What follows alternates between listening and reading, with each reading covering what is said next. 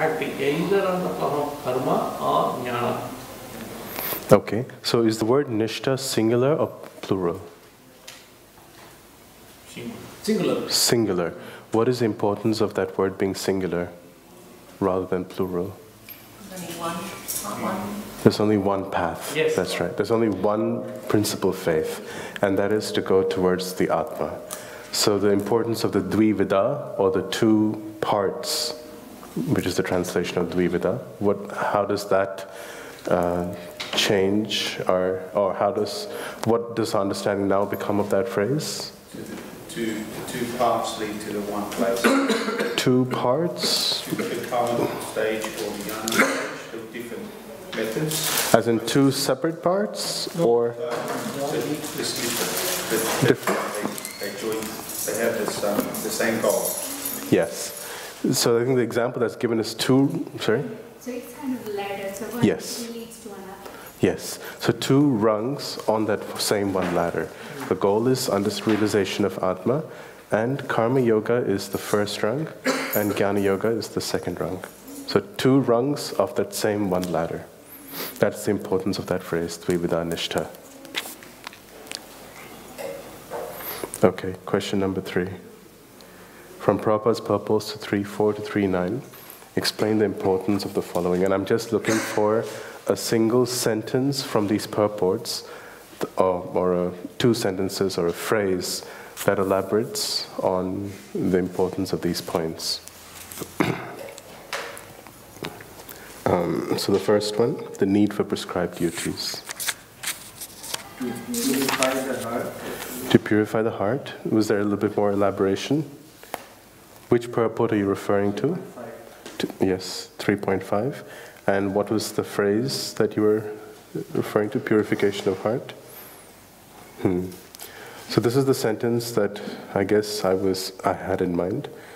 Um, in contact with the material energy, the spirit soul acquires material modes, and to purify the soul from such affinities, it is necessary to engage in the prescribed duties according to Shastras.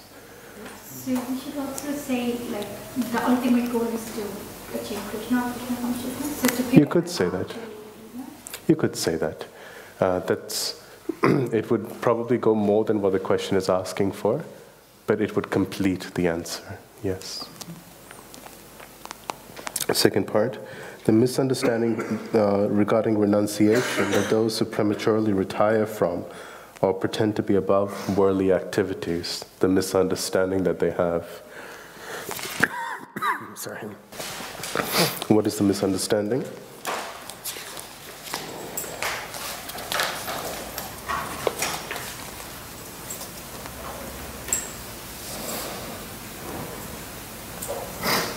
Any answers? Same subject because the heart is not pure. But what is the misunderstanding they have? They will not get any reaction From? from the karma. They don't know any karma hmm and they won't get any reaction. Yes, that's their understanding. So they think that simply, so the translation for text 4 says, uh, not from merely by abstaining from work can one achieve freedom from reaction, nor by renunciation alone can one attain perfection.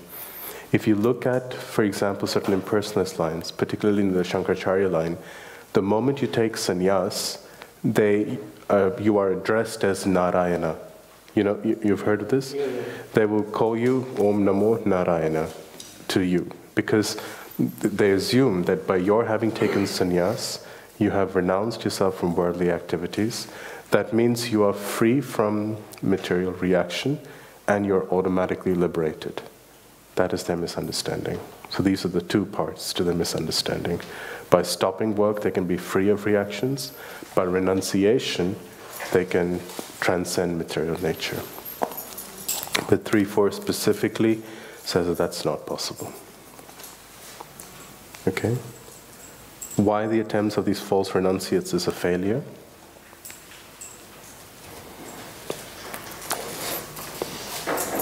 Because the purpose of life is to become a Krishna consciousness, without that it is a failure. Yes. Sannyasa itself can't. Unless you know this, Okay, but they could say that the purpose of life is to transcend the modes of nature. But why is, I mean, why is their process, why will their process not work? Because the knowledge is taken by the illusory energy of the Lord. Uh-huh. And, Uh-huh. uh, the propensity of material enjoyment and uh, by training the propensity of material enjoyment and sense gratification, we can receive Lord's mercy. Okay. I guess I was looking for an answer that's closer to their actual nature. Why will just stopping work not work for any individual? The nature is to be active. The nature is to be active. So this is the sentence from the purport to 3.5. It is not a question of embodied life, but it is the nature of the soul to always be active. And then Prabhupada elaborates on, without the presence of the spirit soul, the material body cannot move. The body is only a dead vehicle to be worked by the spirit soul, which is always active and cannot stop even for a moment. So it is actually, it's Prabhupada sometimes gives example of a hand in a glove. He says the hand is like the spirit soul, and the glove takes the natural shape of the hand and moves according to how the hand moves. People often think it is the mind or body that's active, but that's actually being inspired by the desires of the spirit soul, which is of course conditioned through the mind and body, but it's the spirit soul that is active. And because they, because impersonalists don't understand this point, their process of just renouncing this world is a failure. They must always be active.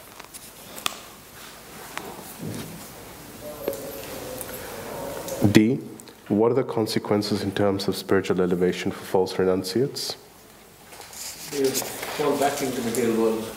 Okay. Is there a specific sentence you're referencing in the purport?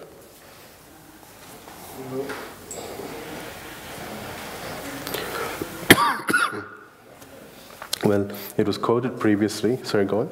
The knowledge has no value. The effect of the knowledge are taken away by the Maya. Hmm.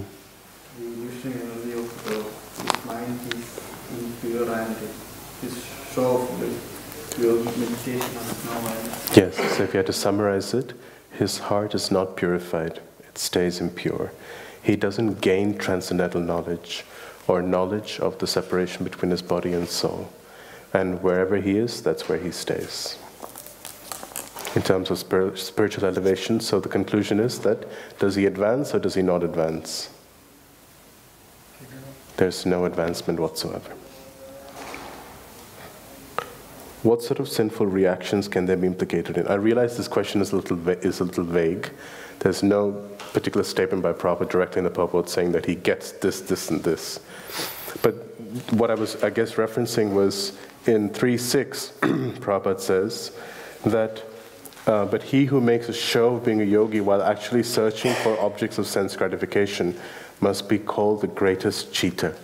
In other words, this person is a pretender internally he is he, he- because he's searching for sense objects in a sinful way he therefore by violating the prescribed rules of the vedas he gets sinful reactions because of engaging in sense objects in a sinful way and because of attempting to lead others while uh, himself not being purified he also gets the sinful reaction of leading others down the wrong path that was i guess the implication the intention of the question it was not clear It seems, right, like that's a worse sin than, you know, kidding yourself or, you know, Hmm. doing it to yourself rather than lead people. But you may not be, you may do it on good faith, you know, they say, I did it for good intentions, but you know, uh, is that a worse sin that you're leading someone if it's not, you know, authority, um, such Well, the, if the intentions are good, there's always this level of um, uh, introspection that's involved in giving guidance.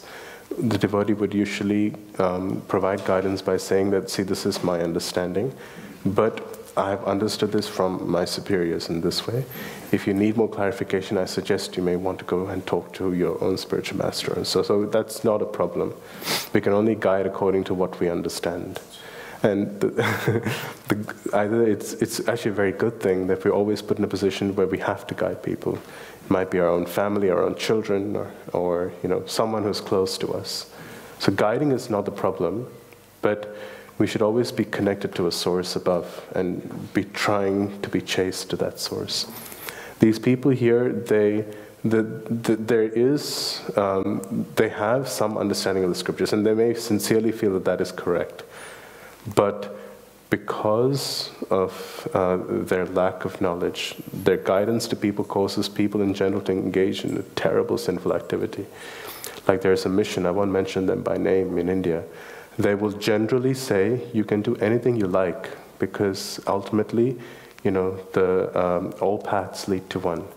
And the followers of this mission justify, use the statement to eat meat, uh, to do whatever they want to do in life. And they just say, you know, all is ultimately one. And this is the kind of misguidance and sinful reaction, uh, sinful uh, activities that result from such guidance. And the people who provide such guidance suffer terrible consequences. So, yes, you're right. Worse than kind of degrading oneself, that's bad enough. But, and there are millions of followers of this particular organization. All of them are lost. Okay, next question. When is one able to properly transcend material prescribed duties?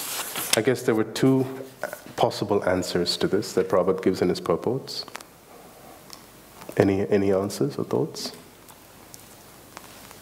When one is on the platform of jnana, Okay, yes. When is that? so when uh, the prescribed duties are performed without, without attachment to the world. Right. In other words, when one's heart is sufficiently purified. So the sentence I'm referencing is the first sentence of text 4. The renounced order of life can be accepted when one has uh, uh, been purified by the discharge of the prescribed form of duties, which are laid down just to purify the hearts of materialistic men. So, by the performance of those duties, one's heart is purified. One transcends the material identification that, uh, uh, for which such prescribed duties are offered.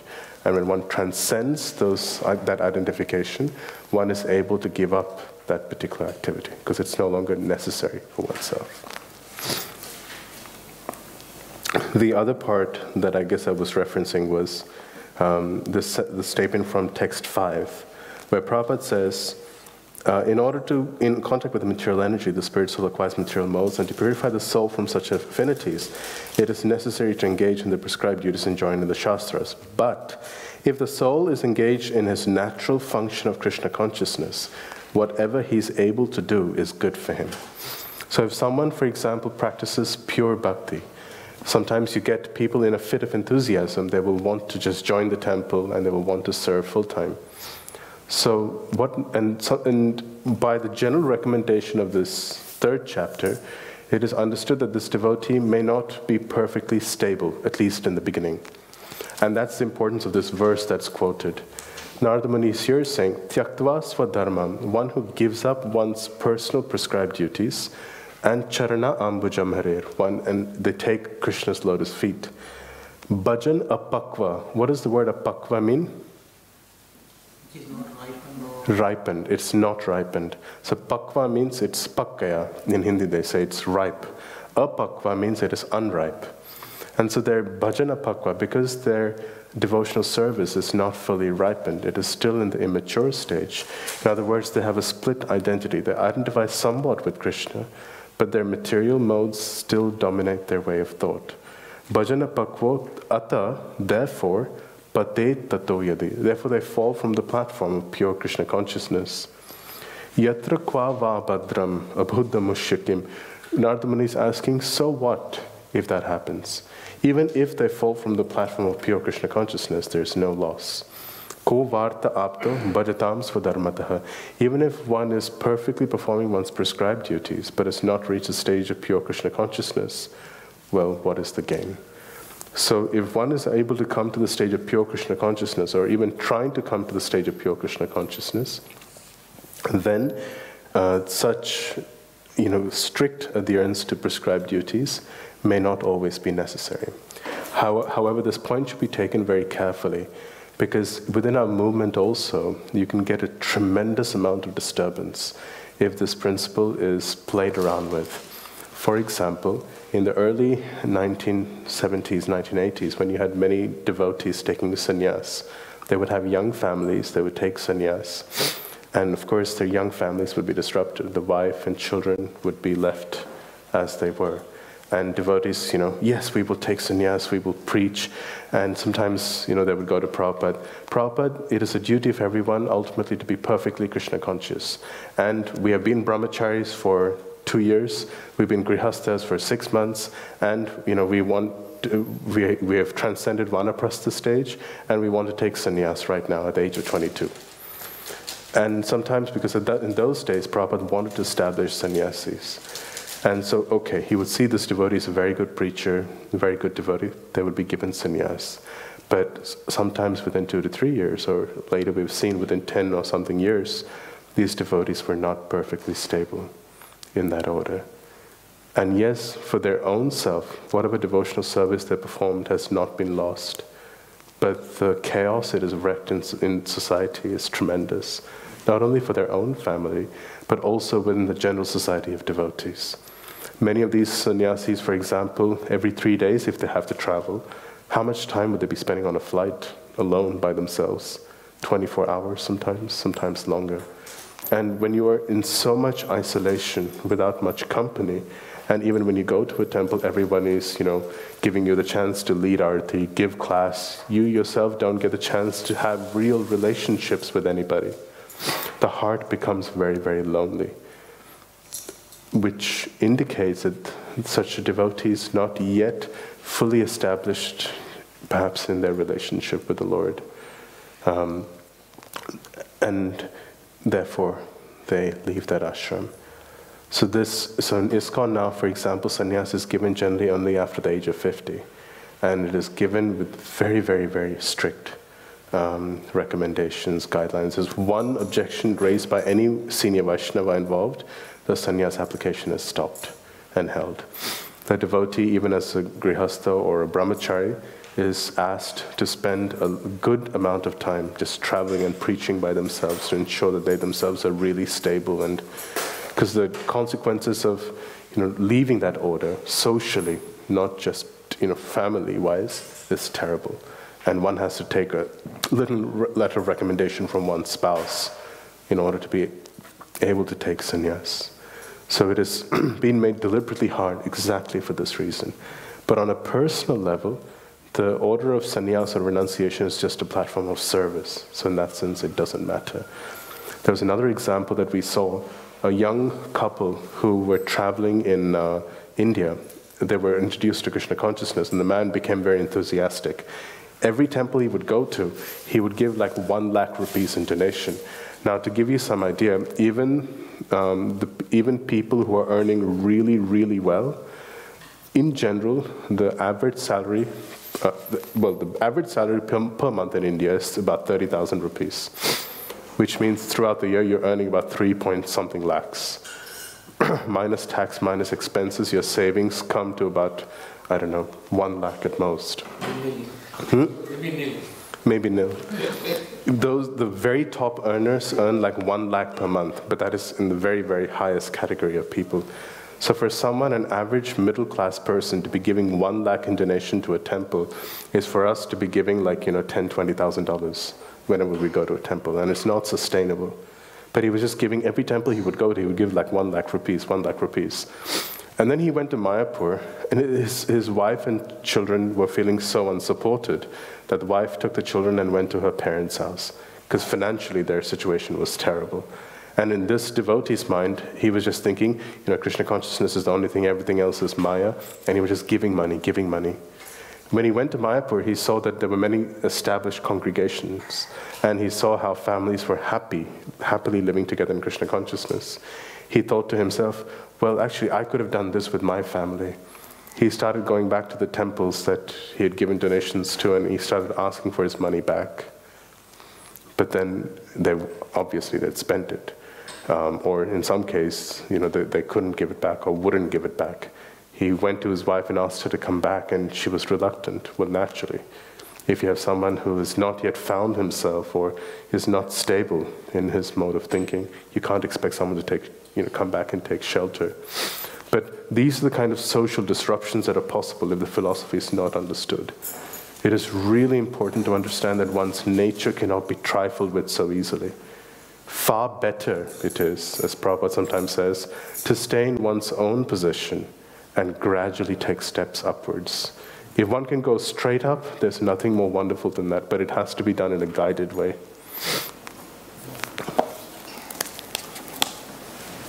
Okay.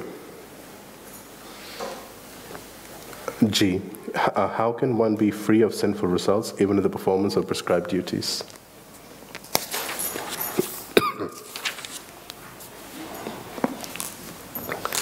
Is it natural that there are sinful activities that just crop up when we're performing our prescribed duties?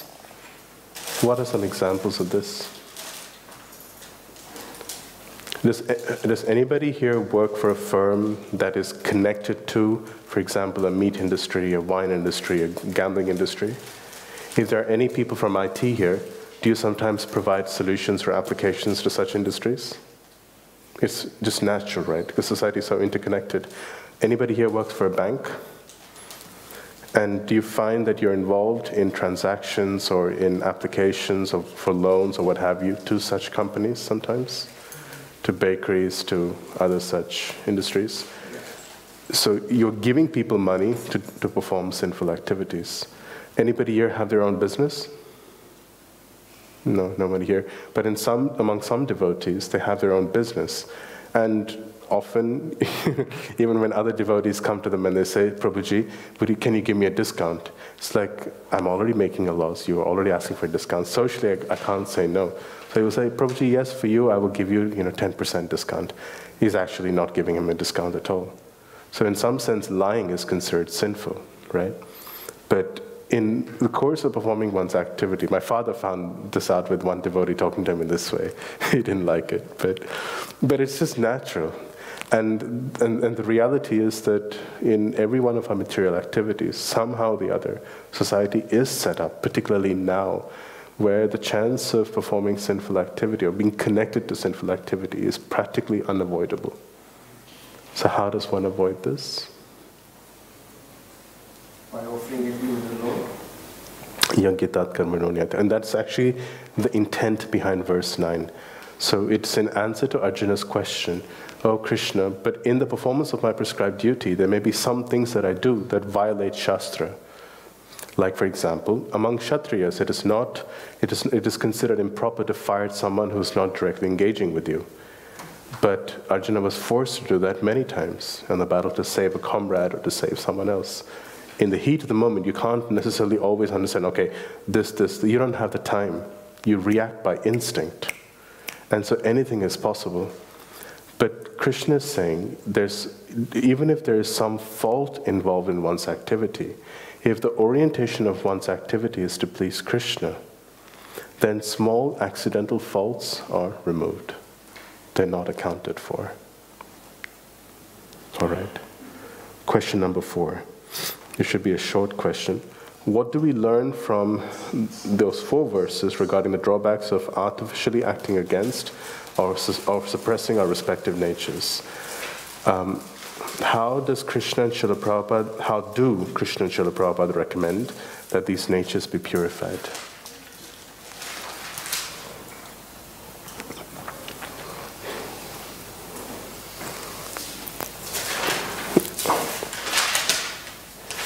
The drawbacks are if we are going for initiation prematurely, then that means our heart is not fully purified.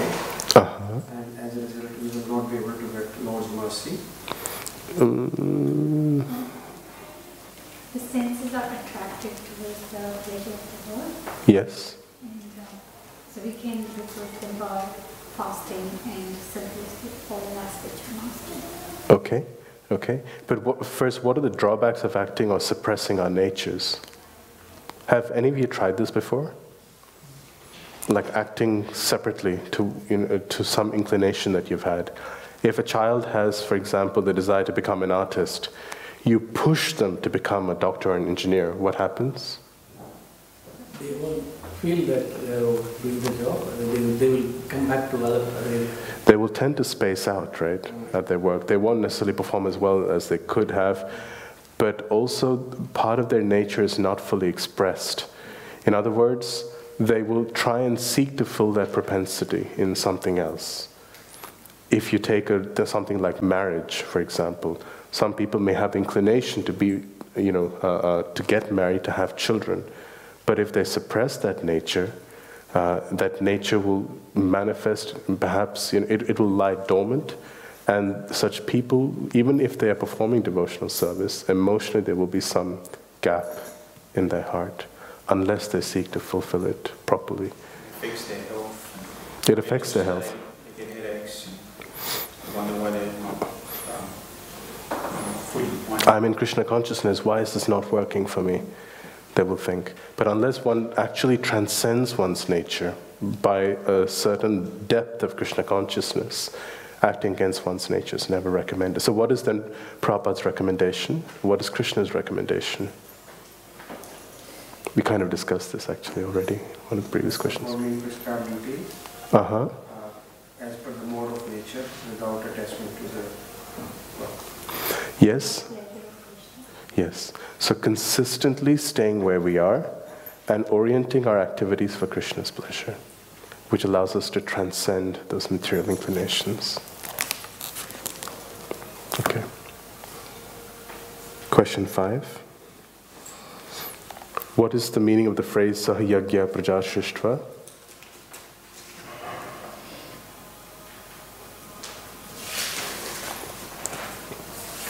The chance offers the condition for to come back to Korea. Sahayagya Prajashishtva? What is that? What is the significance of linking Yagya and Praja? Yajna allows to remember God, to go back to Godhead. Mm, But now with the Maya, okay. Yajna allows to remember the God. That's performing sacrifices for the satisfaction of Vishnu. Okay. The- Praja means, sorry, So treasure is people of the creations. every, yes. Shiva is creating, Yagna sacrificing the Saha along with. So the Lord created generation of men and demigods Yes. So what is the what is the significance of both of them being created simultaneously? Or what is the Saha Yagya? Saha means with. So with Yagya has created Praja. With Praja he has created Yagya. Meaning that all living entities are meant to engage in Yagya or sacrifices to please Vishnu. Who is Prajapati? Vishnu. Explain the phrase Ishtakamaduk. Vish- Vishnu, the bestower of all desirable things. Ishtakamaduk.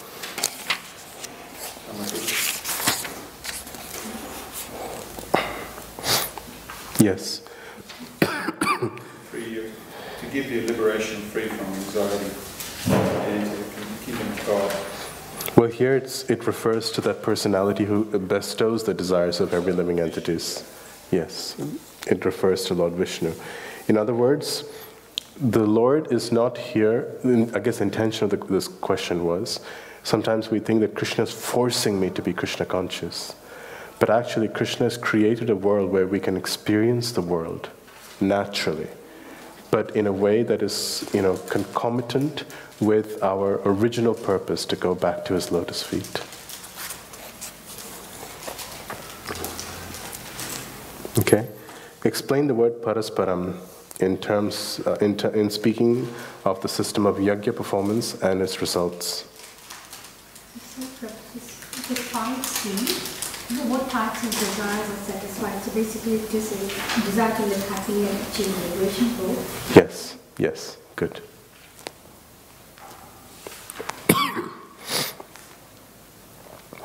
Explain the word par- parasparam.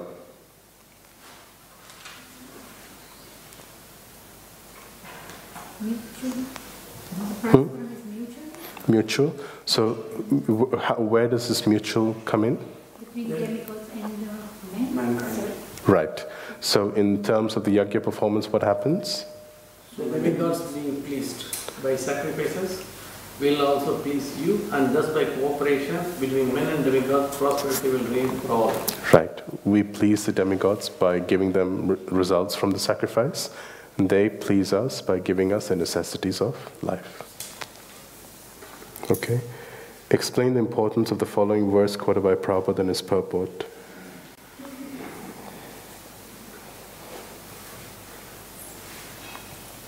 What is the importance of that verse? What is the intent of that verse being quoted?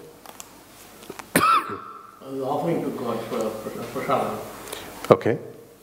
That when we perform the once eatable becomes sanctified, Mm-hmm. and by eating sanctified foodstuff, one's very existence becomes purified, Yes. and by purification of existence, final tissues in the memory become sanctified, and when memory is sanctified, one can think of the path of liberation.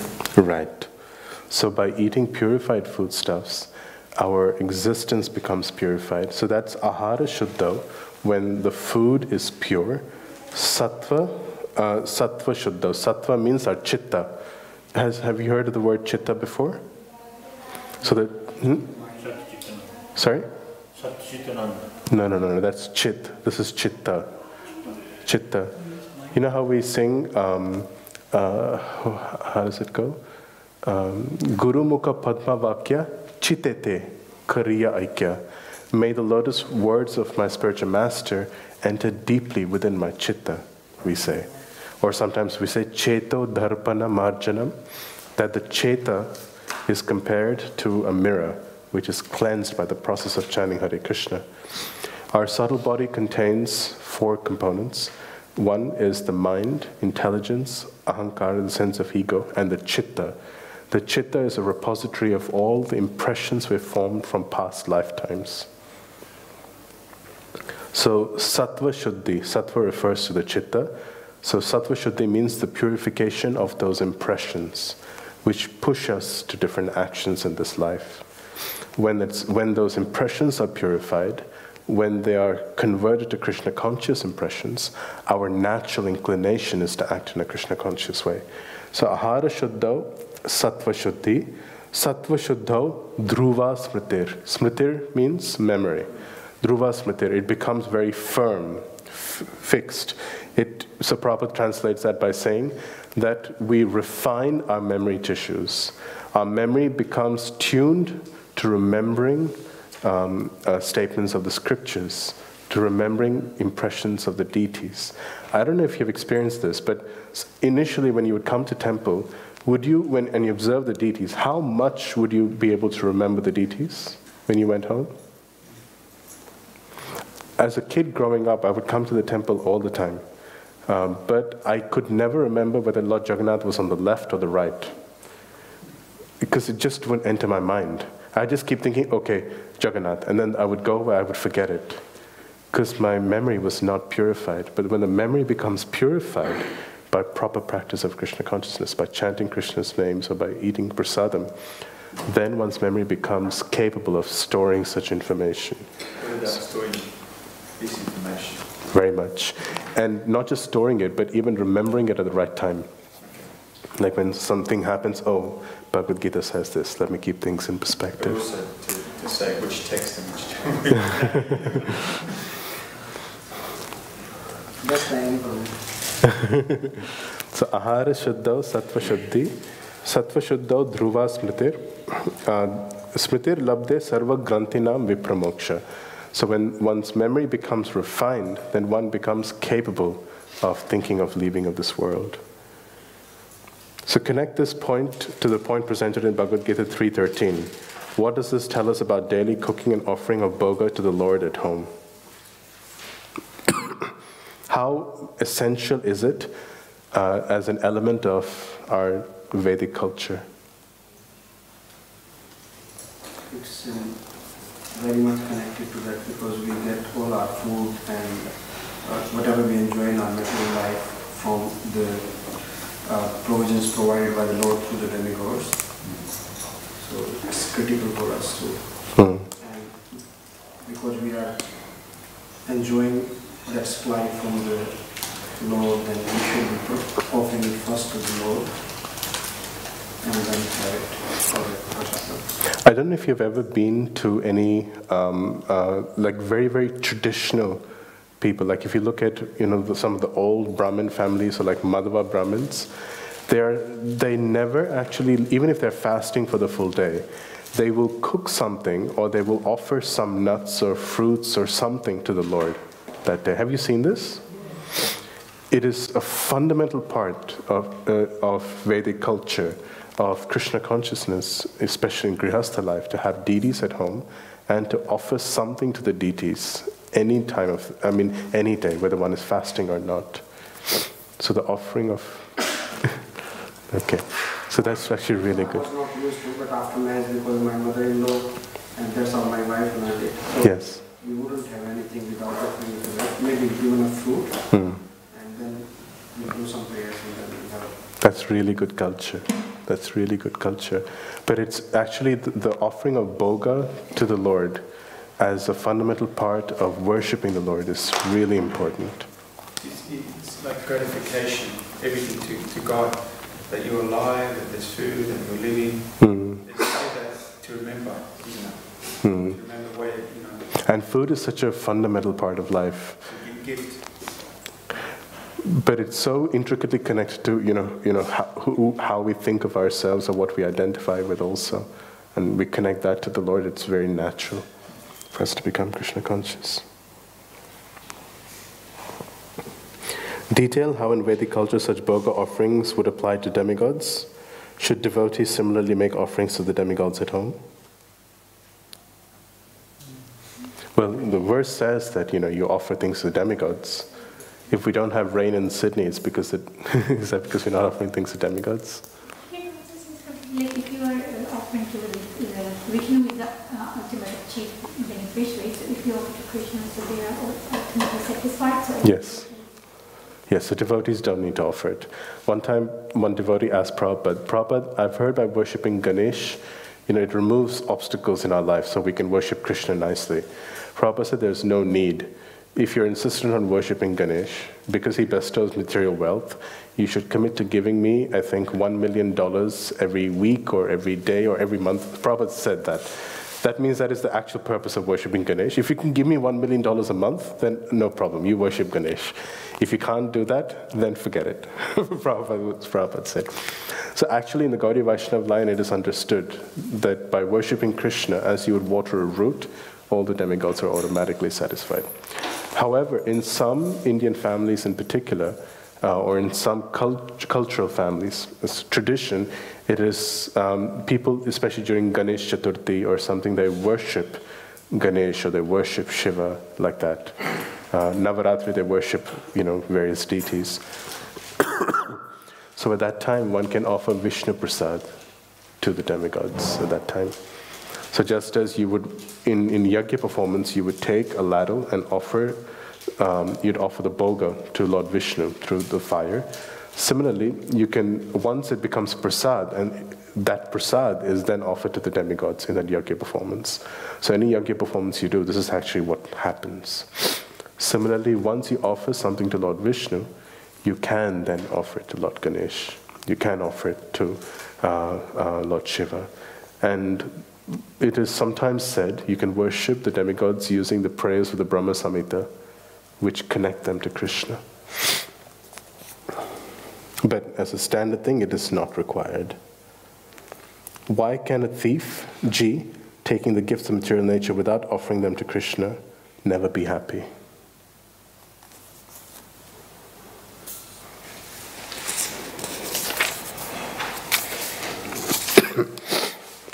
Because of the- sorry. Well, I got they be punished by the laws of nature. Yes, yes. So, in other words, their supply is restricted. As for a thief, their resources are restricted. And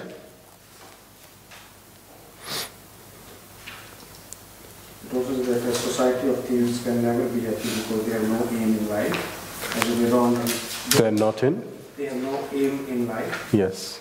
So What I understood from that is that they don't understand our position to the Lord and uh, so they are just trying to enjoy the material sense gratification and not really understanding the actual meaning of our existence. They distance themselves further from their underlying nature. So, yes, they can never be happy. okay. Question eight. From Prabhupada's translations word to word meaning and purports to 317 to 325, explain the meaning of the following four key phrases. What does Atmaratir mean? Taking pleasure in self, Taking pleasure in the self. One who takes pleasure in their own Atma. Atma Triptas, self-eliminating, sorry? self-eliminating, Yes, in other words, they are, um, they are satisfied. Um, Atmaratir means they're attached to the pleasure of their Atma. Atma Triptas, they're completely satisfied by this. They don't need pleasures outside of themselves to be satisfied. And Atmani eva cha santushtas,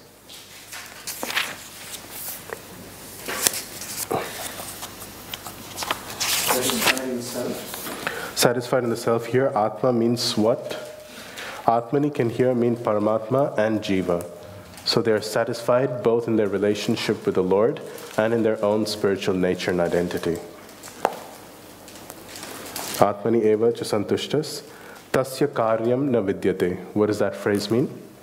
no duty exists. For them, there is no material prescribed duty because they've transcended their conditioned nature.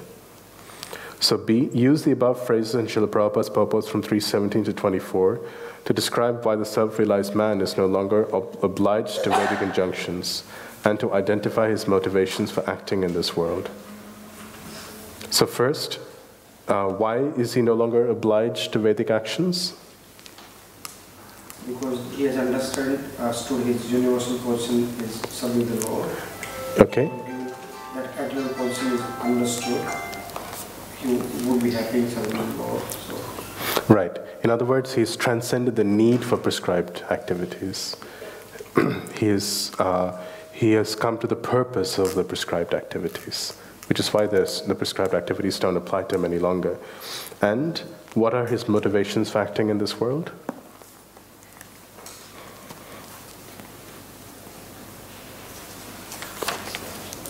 Uh, Because he uh, has to lead people on the right path to set an example. To set an example, to be a representative of the Lord, and to set an example for how to act for people in general. Okay, C. From the descriptions in these verses, select the phrases that apply to this individual. I. He lives on autopilot, having shut off all feelings towards things of this world. Is that how he works? What, of, what parts of these verses contradict this statement?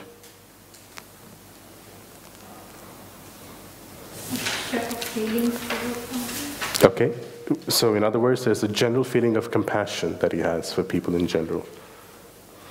Is he highly responsible? What tells you that? Because when you are leading or setting the example, you need to be responsible of your behavior. Well, he's setting an example for people, right? So he has to do it even better than what pe- other people can do. The same activity. His slash her behavior no longer conforms to the scriptures. It's a harder one. Is that true?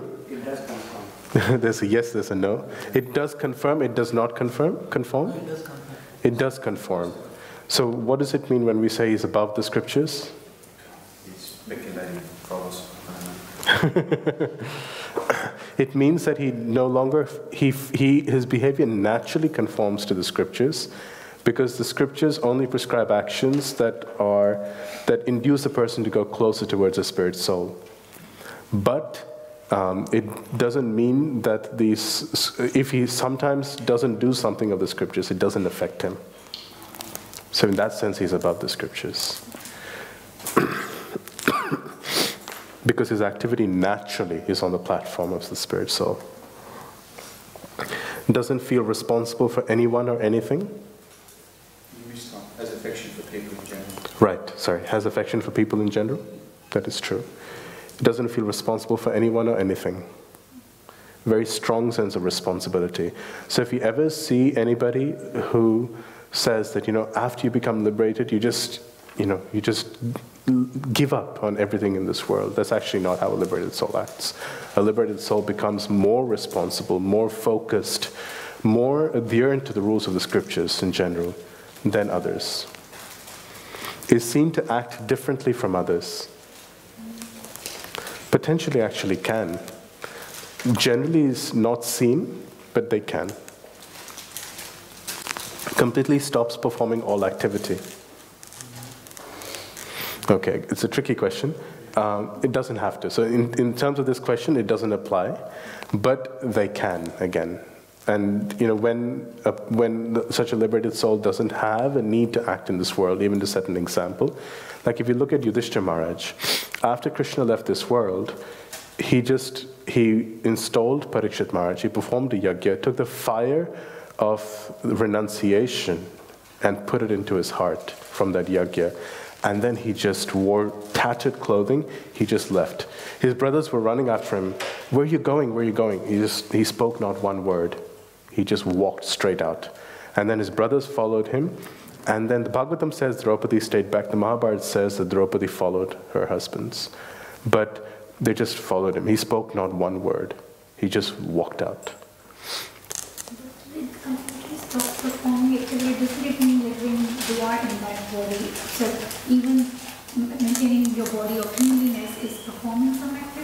Yes. So from that point of view, yes.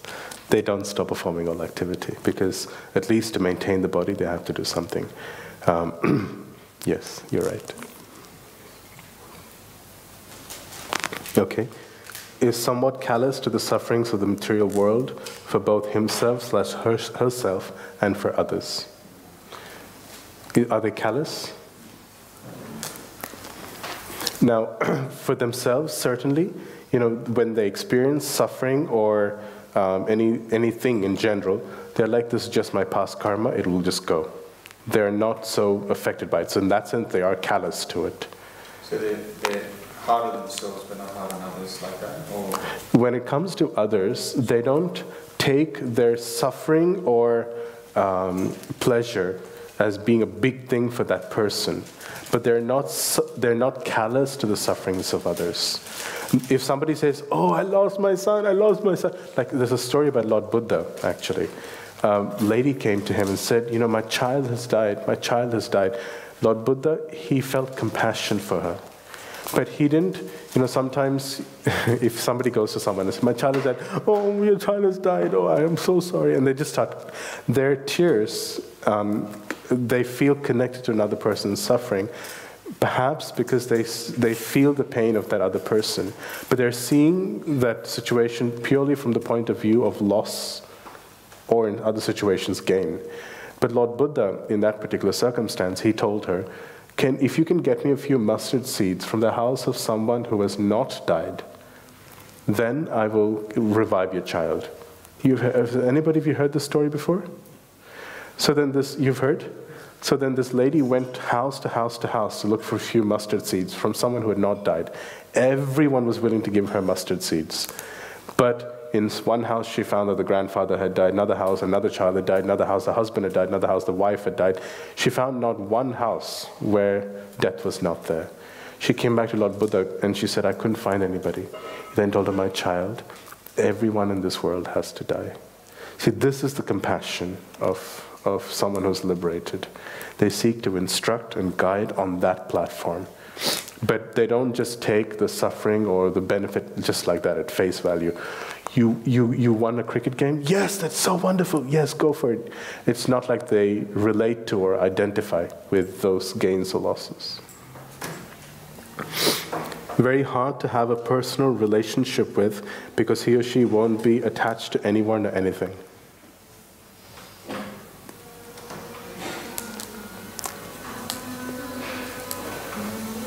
So this applies to them or does not apply to them? Does not apply. Does not apply to them. But if they, if they just see you as a spirit soul, they don't connect to you using your mind and body, how does that work? There's different levels you connect, like the physical level and spiritual not um, when you start at the body, but at the spiritual level, they still be able to connect. Right, but isn't that still a little hard for someone who's not at a spiritual level? But it says just a personal relationship. It doesn't talk about the level. So personally, you can be regardless about the level, but you still have that personal relationship. So even though, like, if I was to Bhagavad Gita at home, my husband said that's spiritual, but it's still a personal relationship as compared to you know, someone else. Right. Interestingly, yes, you're completely right.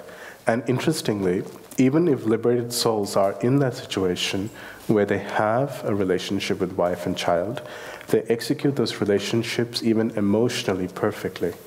They are able to provide, you know, a strong sense. Um, uh, their children and their wife or their husbands feel like this person is actually a wife, actually a husband, actually a child. They're able to perform these services perfectly in society. But sometimes we hear of uh, saints like, for example, Tukaram in Maharashtra. His wife would go to him and say, Earn some money. And so he would sit in a field full of grain. Uh, he was supposed to protect the grain.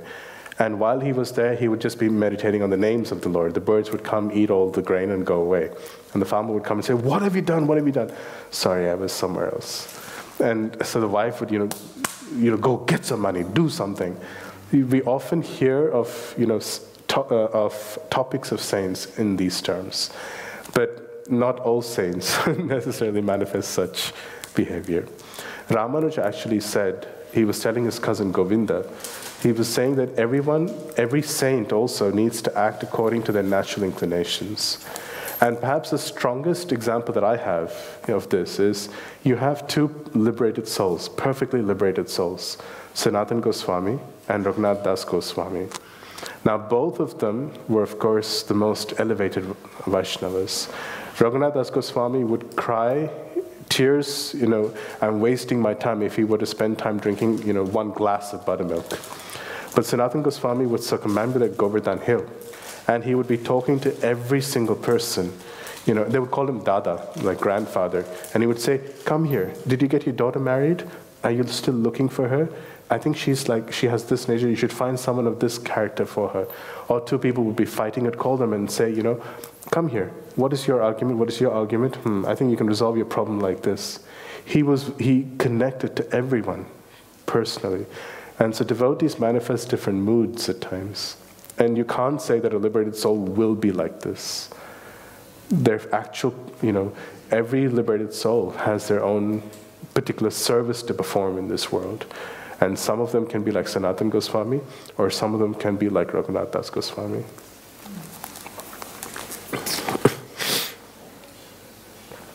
feels pain at others' suffering and feels pleasure when they are happy. They do. They do. This also comes up in the sixth chapter where Krishna says, one who identifies another person's happiness as their own happiness, another person's suffering as their own suffering, is the best of yogis. Has a heart without emotions. What emotions do they have? Well, when they see some like rasgulla, it's not pleasure, right? So, what emotions would they have? So, so Krishna like to Yes. For Krishna, yes. Nivritta Upagiya Manat. When, for liberated souls, they hear about Krishna, the force of those topics enter their ears with, and they create so much pleasure that it gushes out of their mouth as song. Nivritta Upagiya Manat. So their heart is actually full of emotions. But it is without emotion with respect to material experiences. For them, samalostratma kanchana. For them, pebbles or gold is the same thing, whether they're blasphemed or you know praised. Between those two things, there's no difference for them. Is highly refined in his slash her emotions, and that is true. Okay. Describe the meaning of the phrase buddhi bhedam. Jot down how a person attached to material activities should be guided by a more experienced person. what does buddhi bhedam mean? Disruption of intelligence. Disruption of intelligence, splitting of one's intelligence. And how should a person attached to material activities be guided?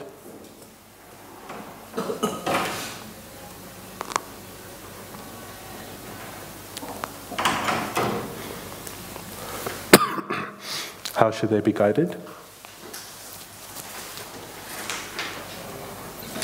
A to student Krishna consciousness should not disturb others in their activity or understanding, but should act by showing how the results of all work can be dedicated to service of Krishna.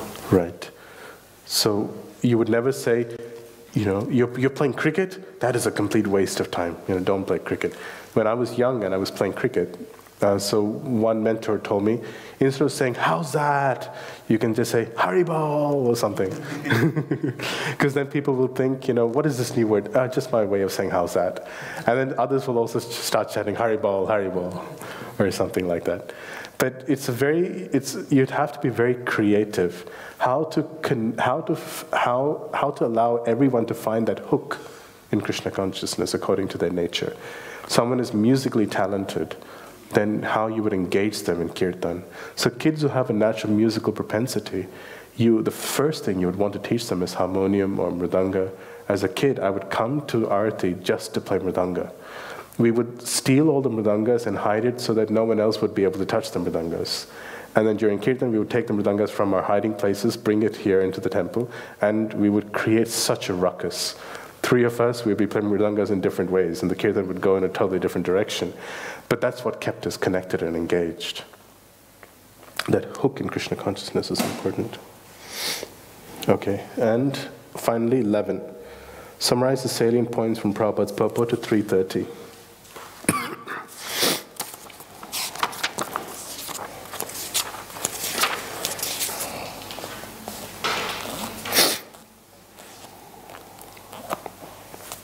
Any dot points? Go on. Full knowledge of Krishna, that we are dependent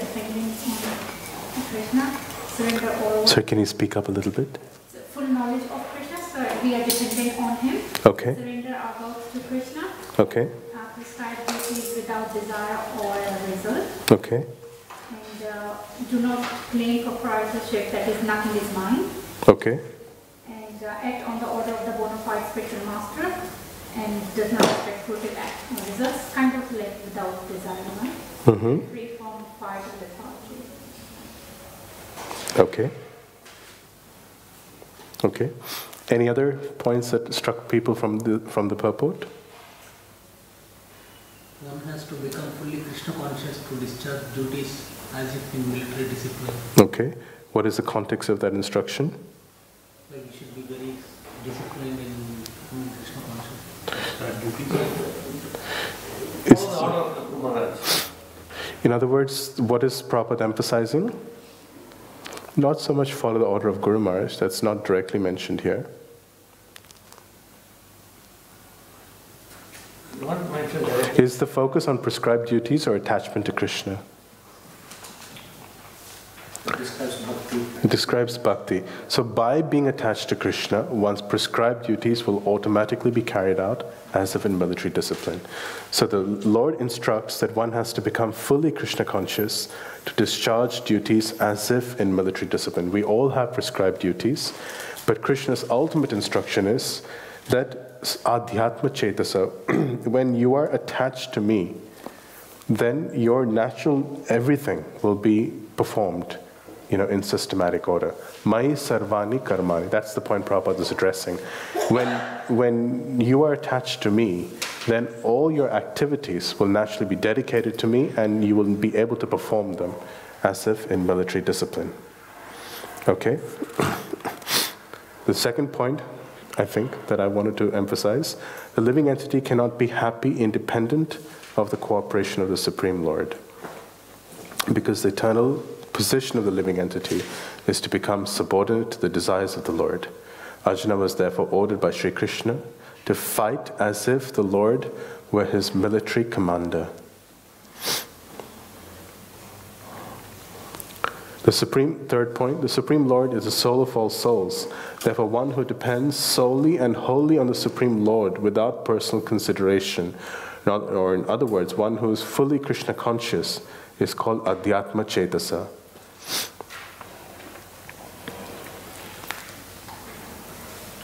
Nirashir means that one has to act on the order of the master but not expect fruitive results. Prabhupada gives example of the cashier who just allows money to go through. Then the word nirmama, when one does not have that sense of proprietorship over anything. Such this consciousness is called nirmama, or that nothing is mine. And the point about Vigatajvara. If there's any reluctance to execute such a stern order, with, which is without consideration of so called kinsmen in the bodily relationship, that reluctance should be thrown off. In this way, one may become Vigatajvara or without feverish mentality or lethargy. The best way to often answer these questions is to trace the phrases of the verse through the purport. So the first point is actually connected to Mai Sarvani Karmani. The second point is connected to Adhyatma Chetasa, that attachment to Krishna. Third point is Nirashir, no personal desires, but just like a cashier. Nirmama, without proprietorship with what one is dealing with. And Yudhyasva Vigatajvara, with great energy, one should engage in one's prescribed duties as service to Krishna. So Prabhupada addresses these different phrases throughout his purport. See, In ancient times, there used to be kings, and they said they were descended from, you know, were powerful landowners, descended from God, or, or some famous person.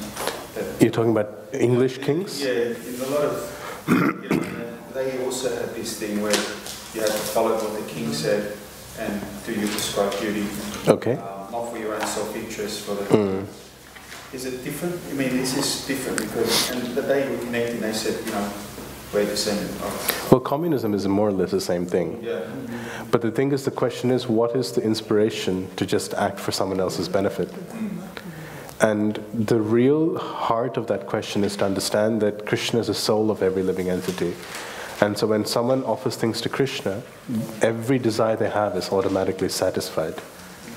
So the only form of communism or the only form of acting for others that works is acting for Krishna, ultimately.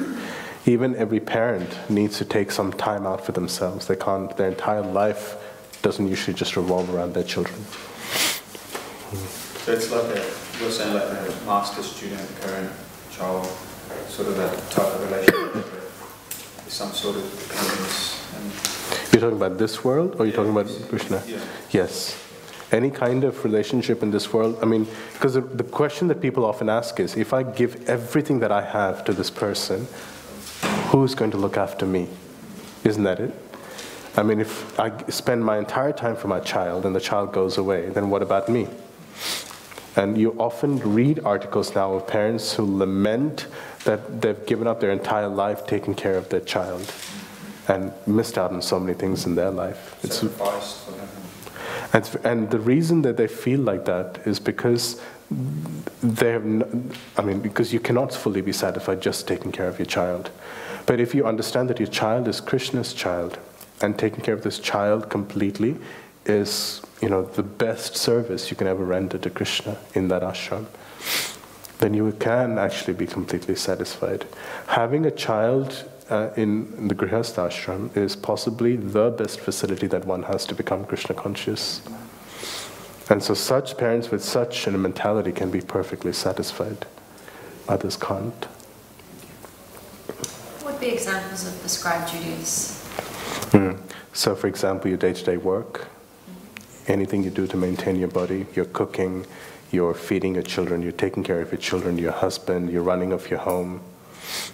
All of these duties would be under prescribed duties. Usually, it's according to one's psychophysical nature. Now, I know that we don't have the split of Brahmana, Kshatriya, Vaishya, Shudra anymore. So, if we're talking about prescribed duties, the best framework that I have, oop, sorry, the best framework that I have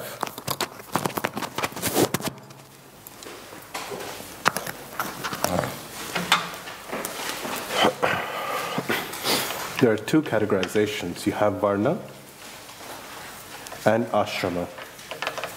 Ashrama means you have your Brahmachari, Grihastha, Vanaprastha, and Sannyas. And Varna is your nature on, on based on three modes. So traditionally it would be Brahmana, Kshatriya, Vaishya, and Shudra.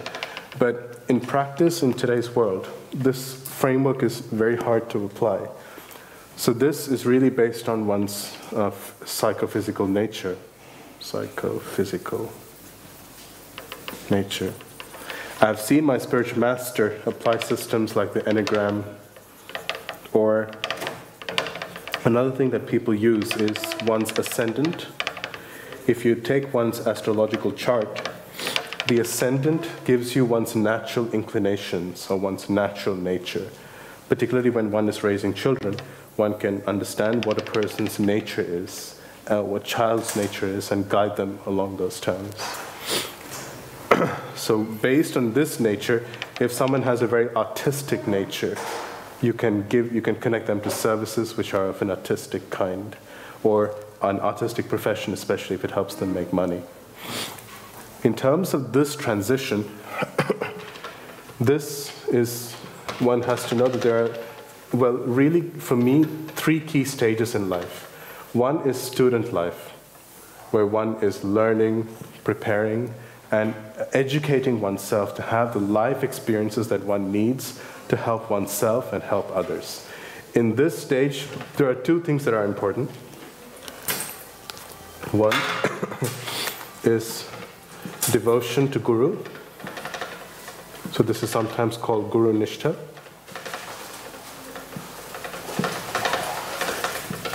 And two, knowledge of scriptures.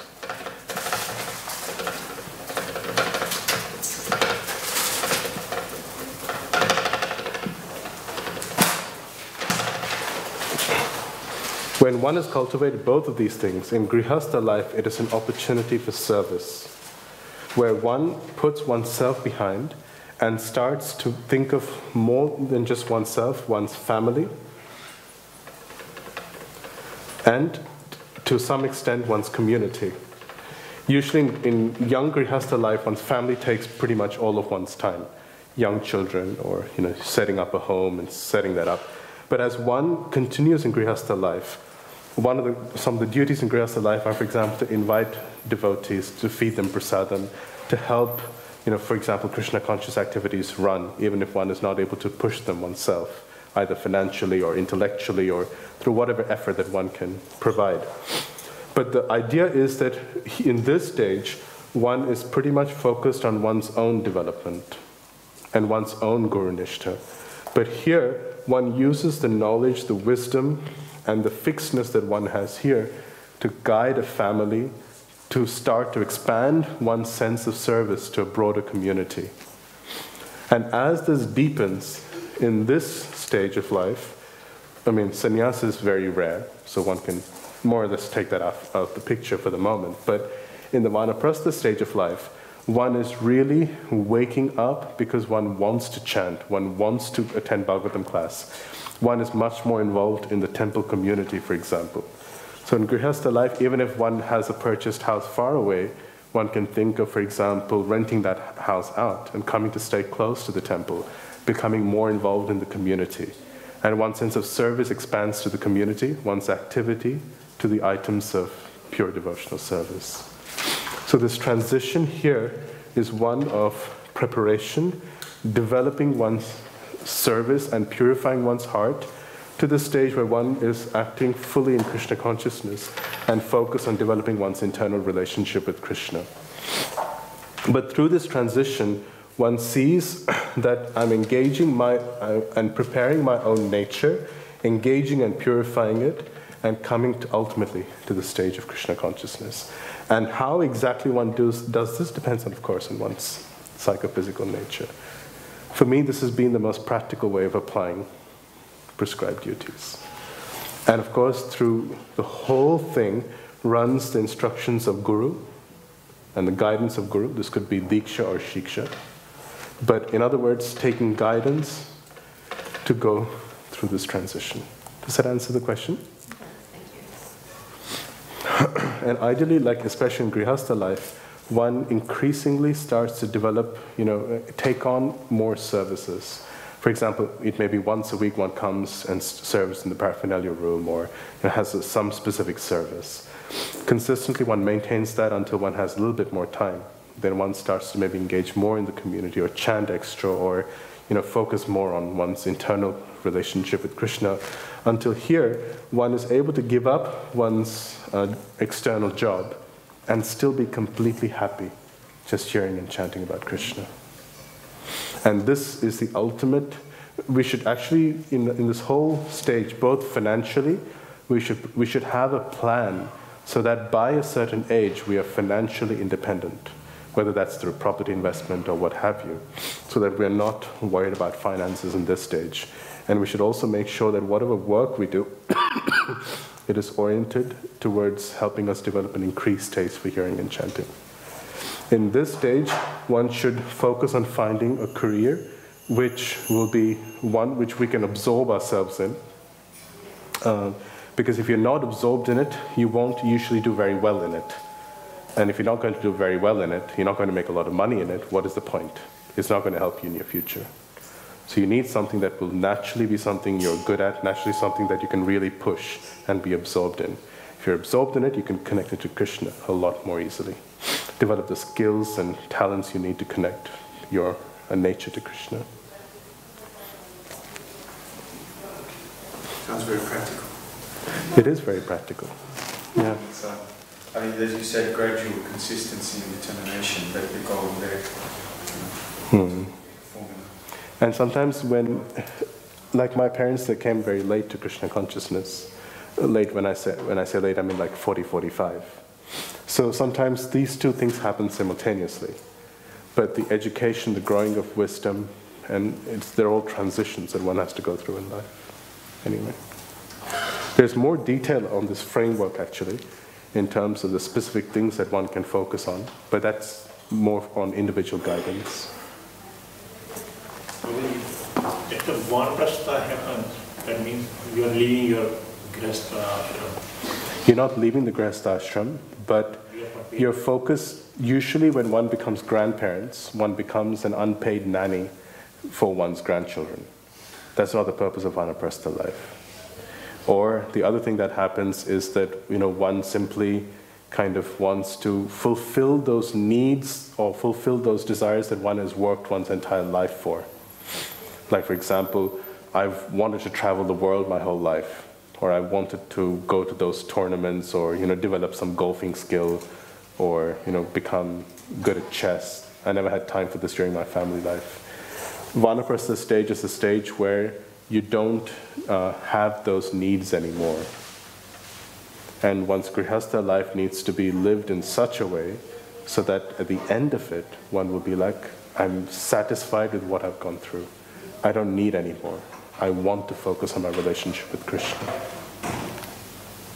That has to be the focus of Vanaprastha life. It's not that one leaves one's family, it's that one leaves family inclinations. So usually husband and wife will stay together, and as friends they will travel together. But uh, obviously by that time, uh, physical relationships have stopped, and they're more spiritual partners, traveling with each other or um, helping each other serve the community. The relationship, if you remember, we presented a framework of relationships once, you know, based on physical, emotional connection, as well as spiritual connection. At that stage, the relationship between partners more goes to the emotional connection, sorry, the spiritual connection. Even the sannyasas can be with the husband and wife together. Oh, well, in mentality, yes, but as an ashram, no. As an ashram, what happens there is, in the vanaprastha stage, one is focused on serving the community. In the sannyas stage, one is focused on serving the entire world. In the brahmachari, in brahmachari life, one's focus is actually to just serve guru, to, to develop guru nishtha.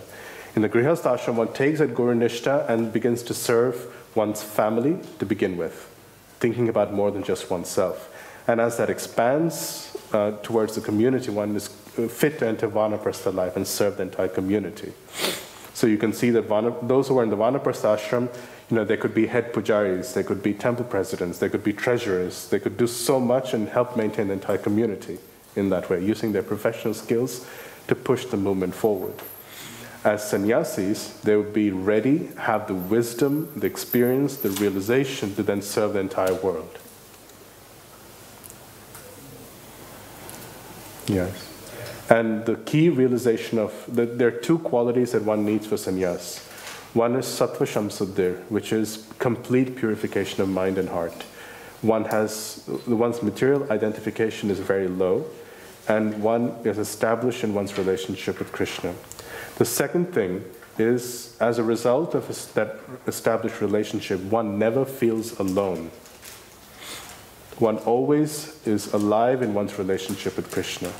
One naturally takes pleasure in hearing and chanting. Because if sannyasis have to, have to spend 24, 36 hours alone on a flight, whenever they go to a temple, they pretty much are isolated. Everyone looks up to them, you know, like this. And there's practically no one who, can, who necessarily deals with them on an intimate or personal level. The only association they get is, you know, once or twice a year when they're with their godbrothers. For them, they need to be alive in their relationship with their guru and Krishna. Then it becomes possible to become a sannyasi. But it's a, it's a service. The real question one has to ask is Does Sydney need sannyasis, or do you need dedicated devotees who, staying here, can serve a community? Both are needed, but aren't there already enough senior Vaishnavas who come here? And those who have that inclination that realization can definitely take up that service. But if you ask yourself, who are the people who have affected the most change in Sydney?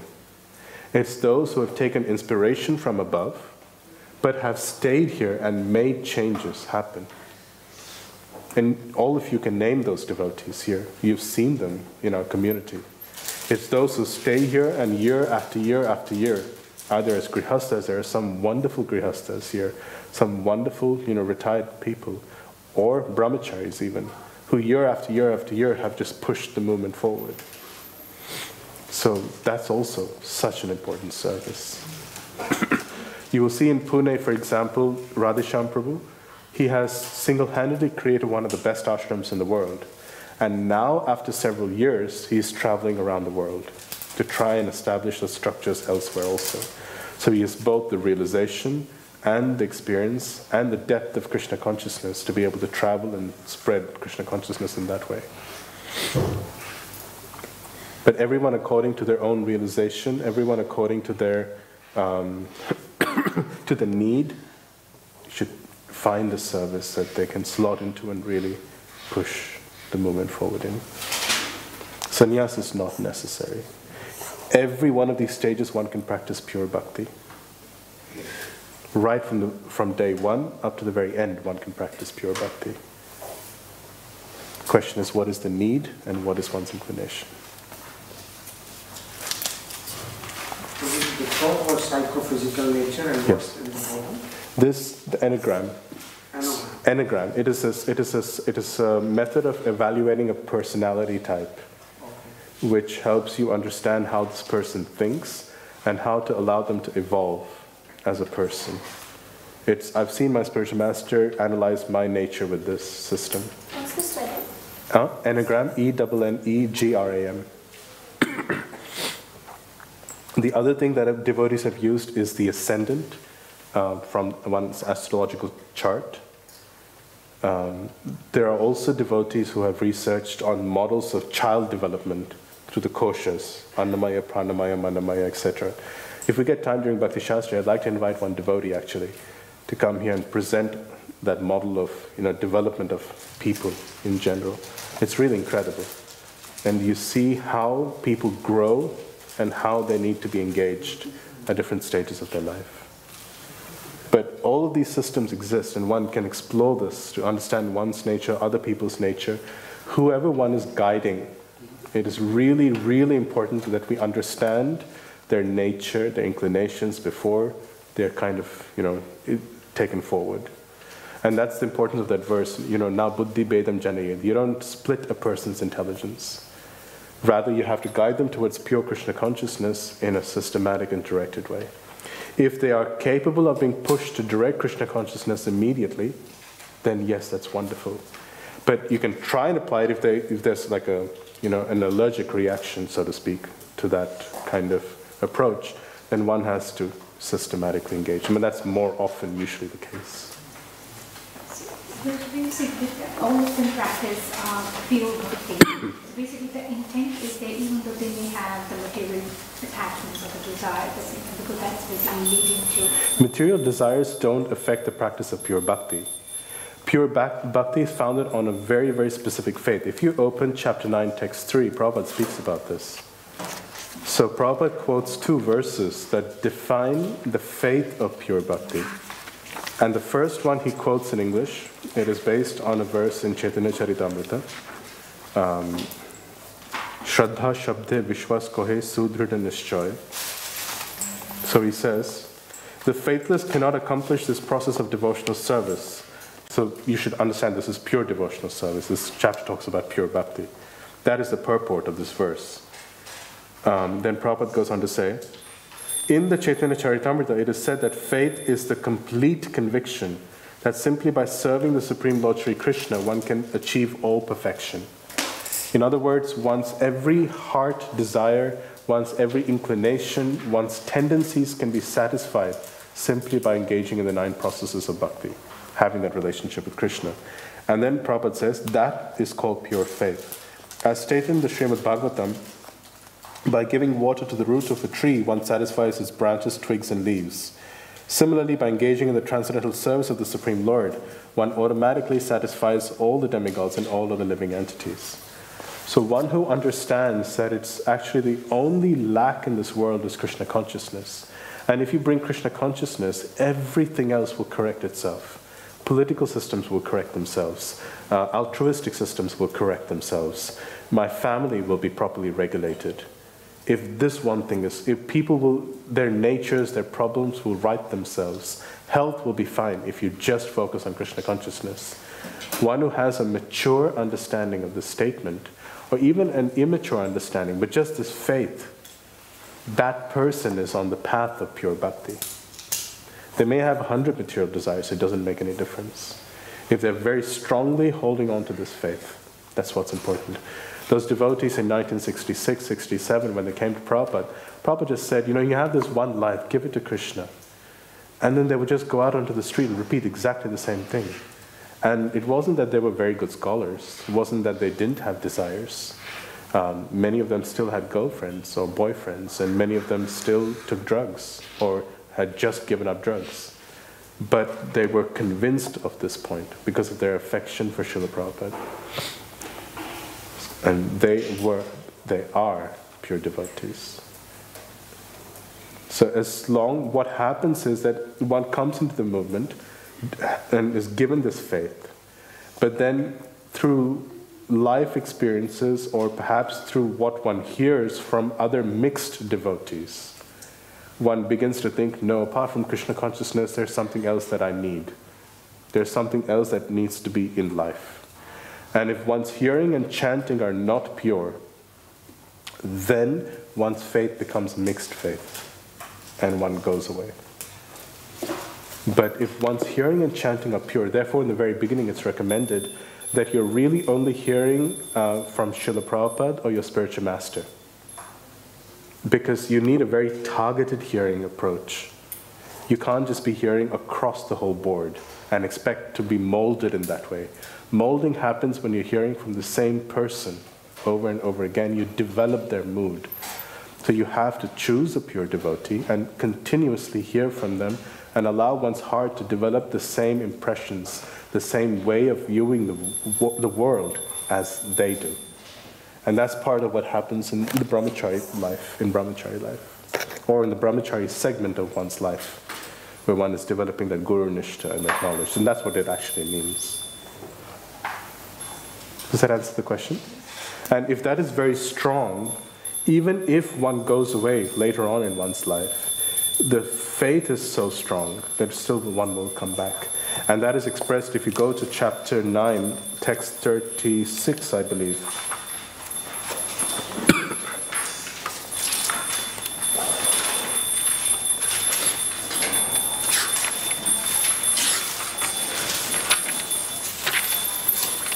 Verse Apichet Suduracharam.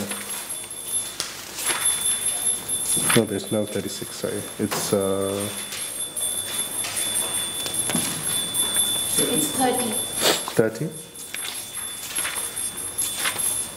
Thank you. So, what this verse says is Api chet, even if suduracharo, one's activity is not just, you know, durachar, durachar means, you know, very bad. It's sudurachar, it's extremely bad. Bhajate mam ananyabhak. In their heart, they understand that simply by worshiping Krishna alone, everything is, everything is accomplished. And they understand it is my own rascal nature as to why I'm acting separately. And I'm so foolish, I'm such an idiot. But I'm not able to stop this. Krishna, please help me. If someone has this mentality, Krishna says, Sadhur Eva. They're not just like sadhu when they come to temple and sadhu and asadhu outside. They're sadhu eva. They're only a sadhu. And then he says, for those who disbelieve this, this is mantavi. This is my opinion. And if you disagree with my opinion, you're irreligious. So Krishna says you should tell people who disbelieve this that this is my, what I, the Supreme Lord, the writer of all the Vedas, the writer of all that is right and wrong. This is what I am saying. And samya vyavasito hisa is because his determination is properly situated. And the next verse says, Shipram bhavati dharmatma. Very quickly, they come back to the right path. And there's an entire, there's a very, very sweet analogy that goes on through, uh, to explain this verse, but that is the intent behind the verse. so, pure devotional service is from the very beginning up to the very end. And maintaining that pure devotional conviction and that faith is actually the principal activity of the sadhaka. So sometimes Lord Chaitanya would say, um, the first activity of a Vaishnava is to avoid bad association. Asat Sangatyaga, a Vaishnavachar, he would say, which means that to protect that pure devotional faith, one would prevent, one would stop from associating with other non Vaishnavas and only associate with Vaishnavas who have this very strong and pure faith.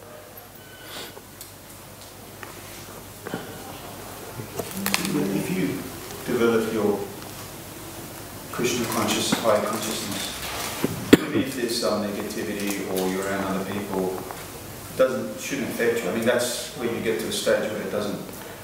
You know, you can be around them, but it doesn't affect you. They could, But even uh, if you look at Jada Bharat, you know, that fifth canto pastime, um, he was at the stage of bhava. When he was insulted by Rahugana, he felt bad.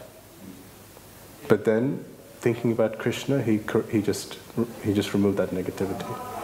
And then he felt compassion for the king and began to instruct him. So it is not that uh, we won't feel bad. At the stage of bhava, one's subtle body is destroyed. And until that time, our, we still have a mind, a material mind, and we can still feel bad. feel good. Ah. I mean, you shouldn't hurt anyone's heart. That's the thing that you shouldn't do as a devotee to any other person, let alone a devotee. Um, so that's what you're going to be careful of. So Yeah. you know, what you say is beneficial, it's not going to be hurtful. Yeah, Um, so that that person doesn't feel, you know, um, they're being tested or whatever. Sure. Yeah. Sure. yeah. I, I'm not following the What I'm saying is, is like if you, if something happens to you um, and you are strongly connected with Krishna, it- like what you were saying, he, he can easily transcend that feeling. He, he doesn't put it back on them, doesn't feel bad about what they did to him or whatever. Yeah. They, they can sort of deal with it, on a, maybe they're on an immature level or whatever. Yeah. Just put it aside, you know. Yes. Yeah, not take it to heart and carry it and Yeah. respond back. You know. Yeah. Yeah. Yeah. But I mean, one has to also be practical with that. So, in other words, for example, if you have two children under one parent, usually if one has a grudge against the other, one will go to the parents and say, you know, so and so did something to me. And by the protection they feel from their parents, they don't need to take out the negativity on that individual. They know the parent will take care of it automatically. For a devotee of that very high level, they know that Krishna is behind everything. So I don't need to carry any negativity with me, but it's the same principle. So, from a social structure perspective, among devotees in a community, if one feels bad at something that another person has said or done, you do need to have an avenue where you can complain to a temple president or to a senior authority and have the other devotee corrected. Yeah, it's got to be correction. Yeah, but so one has to be practical. The point is that one has to feel a sense of shelter. Um, and so socially, devotees will not be at that level for some time. So socially, in a family, you need to create a structure where such grievances can be aired and be properly dealt with. Thank you. Thank you. Okay. Prabhu, adding to that point. Um, we often come across association. It's the first pillar of our bhakti. But mm, practically speaking, we are more involved with outside world Hmm. than with temple and temple devotees. Hmm. So, what's the definition of association? Association means whom we are influenced by, not whom we are with. Thank you. Bhaktivinoda Thakur says that. Last questions?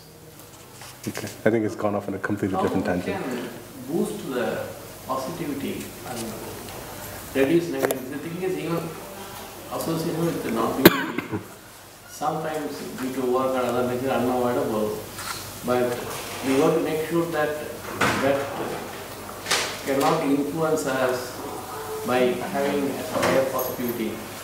What is the, your suggestion for that? You have to be influenced by the right people. You have to be influenced by the right people. So, my personal way of doing that is to read Prabhupada Lilamrita or read pastimes of Srila Prabhupada.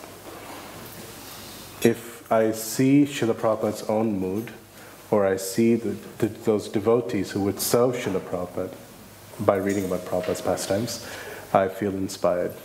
And I'm more influenced by them and less influenced by the world outside. Pure hearing and chanting will keep you immune. Prabhupada calls it, you know, he calls, he calls it immunization. If you eat only prasadam, you chant Hare Krishna, you're hearing from um, uh, qualified devotees.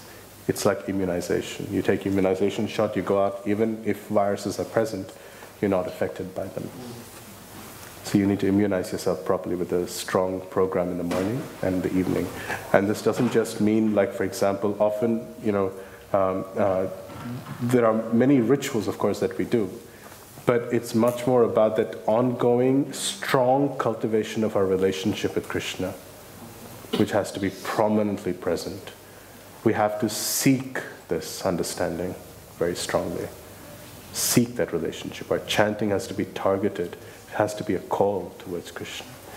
We have to read Bhagavad Gita and Srimad Bhagavatam with the intent of developing our relationship with Krishna, with associating with Srila Prabhupada, not just from the point of view of seeking knowledge or, um, uh, or because it feels good or things like that.